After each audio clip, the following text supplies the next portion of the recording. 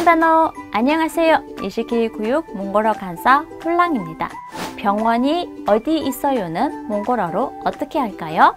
임직 한외 임직은 병원 한외는 어디 있어요 입니다. 자 그럼 따라해 볼까요? 임직 한외 임직 한외 누구나 쉽고 빠르게 배우는 이시케이 교육의 몽골어 저 훌랑과 함께해요.